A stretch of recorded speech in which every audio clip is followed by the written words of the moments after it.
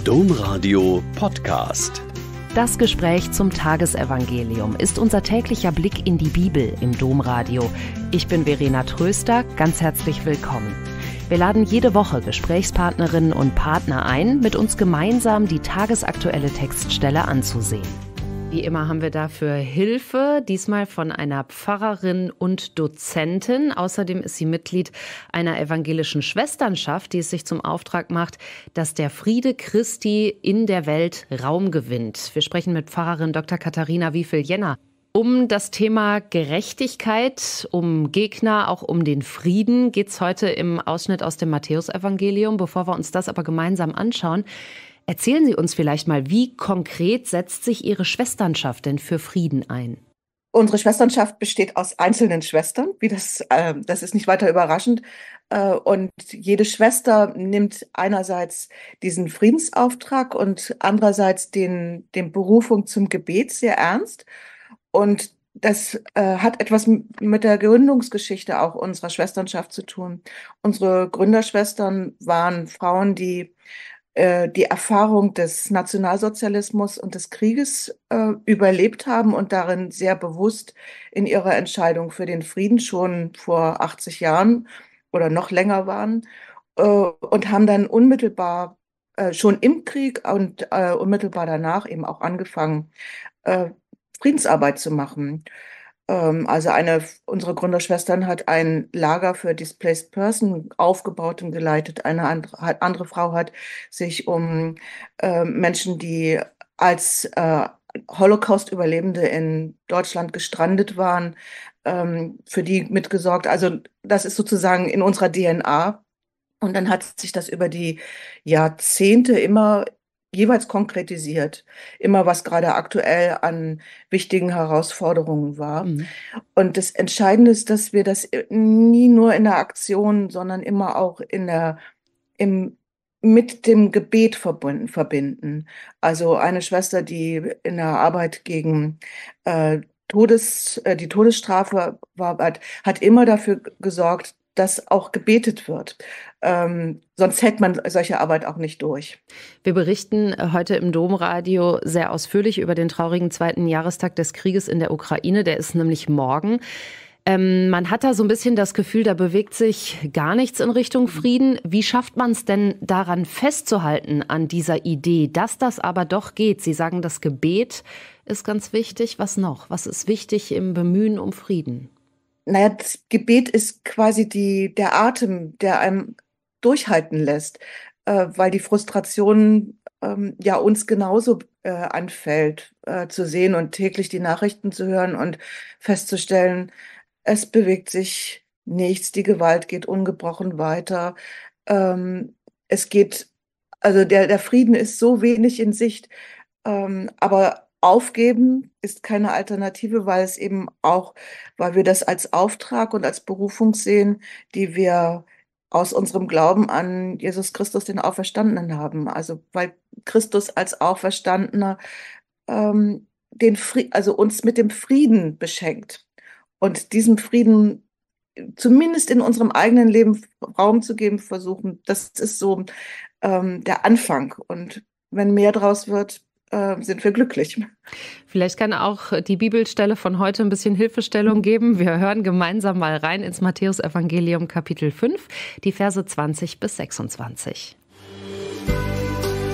Domradio, das Wort.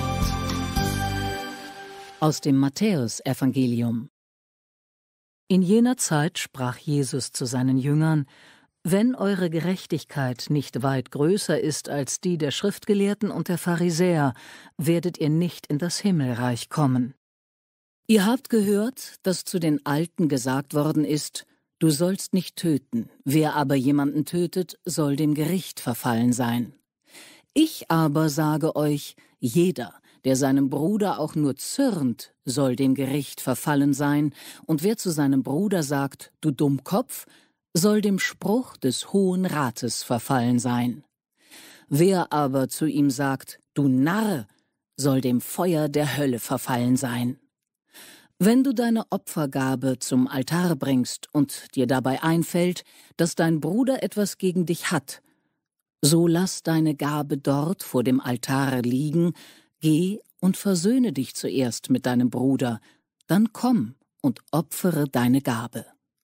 Schließ ohne Zögern Frieden mit deinem Gegner, solange du mit ihm noch auf dem Weg zum Gericht bist. Sonst wird dich dein Gegner vor den Richter bringen, und der Richter wird dich dem Gerichtsdiener übergeben, und du wirst ins Gefängnis geworfen. Amen, ich sage dir, du kommst von dort nicht heraus, bis du den letzten Pfennig bezahlt hast.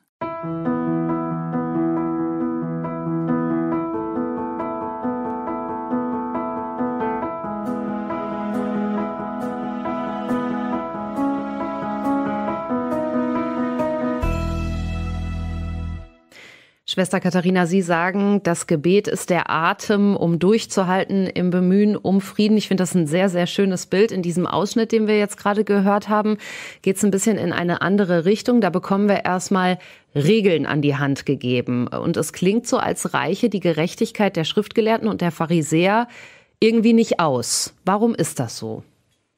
Also die Pharisäer und die Schriftgelehrten kommen in der Perspektive des Neuen Testaments manchmal äh, schlecht weg. Mhm. Ähm, aber im Prinzip unterscheiden sie sich an, in ganz vielen äh, Überlegungen überhaupt nicht von, die, äh, von dem, was Jesus will. Die Schriftgelehrten und Pharisäer wollten, dass die zehn Gebote eingehalten werden und haben dann Leben, für alle Lebensbereiche klare Regeln äh, um die zehn Gebote drumherum gebaut, damit nicht aus Zufall oder aus Nachlässigkeit dann die ähm, Gebotsübertretung geschieht. Und das haben die dann unter, ähm, also das läuft unter dem, unter der Überschrift Gerechtigkeit tun. Ähm, also die Pharisäer haben eben auch nach der Lebenshaltung, äh, die, die sich an Gott ausrichtet, gefragt. Und Jesus ist da noch ein bisschen radikaler. Der sagt, im Prinzip ist das richtig, was die Schriftgelehrten und Pharisäer wollen, aber, und dann ist das ähm, sozusagen als ähm, nochmal als Unterstreich, also es wird immer Antithese genannt, aber eigentlich ist es nochmal eine Bestärkung und zuerst radikaler. Er will den Anspruch der zehn Gebote nicht aufweichen und nicht relativieren, weil man ja eventuell mit den Regeln da drum Ausnahmeregeln schaffen könnte und Anpassungen vornehmen könnte und die Gerechtigkeit dann irgendwie doch ein bisschen flexibler betrachten kann. Und dann tritt der ein Punkt ein, dass es nur scheinbar um den Frieden geht und scheinbar Liebe geübt wird. Und dagegen wendet sich Jesus. Er sagt, es geht um die Beziehung zu Gott und den Nächsten und nicht um die äußere Form. Mhm. Wenn Sie sagen, äh, das geht in eine radikalere Richtung, äh, da fällt mir ganz besonders ein Satz äh, aus diesem Text ins Auge. Schließe ohne Zögern Frieden mit deinem Gegner. Also wenn das jetzt wirklich mal jeder durchziehen würde auf der Welt, das wäre schon eine gute Sache, aber das ist doch nicht realistisch, oder? Naja, im Prinzip ist, also es ist unrealistisch, aber im Prinzip haben wir keine andere Chance für den Frieden. Also ich muss selbst um den, mich selbst um den Frieden hm, bemühen, und zwar mit, gerade mit denen, die es mir schwer machen. Ich kann den anderen nicht ändern, aber wenn ich meine Haltung ändere zu denen, die es mir schwer machen, dann gibt es eine Chance und dann verändert sich der andere oder die andere vielleicht doch. Vor allem aber verändert es mich. Ähm, und dann ja, dann entsteht sowas wie ein winziger Spalt in der harten Mauer aus Feindschaft. Und dann kann sich dieser Spalt weiten und immer breiter werden. Da spielt das Gebet dann auch eine wichtige Rolle. Und der Friede kann durchschlüpfen und sich ausbreiten, Raum gewinnen. Ich gebe zu, das ist die schwerste Übung überhaupt. Und die Chance zu scheitern daran, die ist ziemlich groß und das erleben wir ja, also das hören wir durch die täglichen Nachrichten. Ähm, aber zumindest in unserem persönlichen Umfeld sollten wir den Versuch machen und ich weiß, dass es gelingen kann. Ähm, denn wenn wir nicht von vornherein ähm, den Anspruch haben, dass wir es versuchen können, dann gewinnt die Ungerechtigkeit und der Unfrieden. Also wir müssen es mit dem Frieden versuchen, so oft es nötig ist und wann immer es geht, auch wenn es unrealistisch ist. Aber es ist absolut nötig. sich dem Frieden zur Verfügung zu stellen. Das sagt uns heute an diesem Freitag die Pfarrerin Dr. Katharina Wiefel-Jenner. Sie schaut täglich mit uns in die Bibel, morgen früh auch nochmal. Das Gespräch zum Tagesevangelium. Jeden Montag bis Samstag gegen Viertel vor acht im Domradio. Weitere Infos auch zu anderen Podcasts auf domradio.de.